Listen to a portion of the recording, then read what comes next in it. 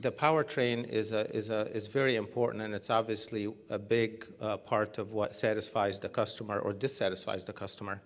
uh, in, in these technologies, but also the vehicle side.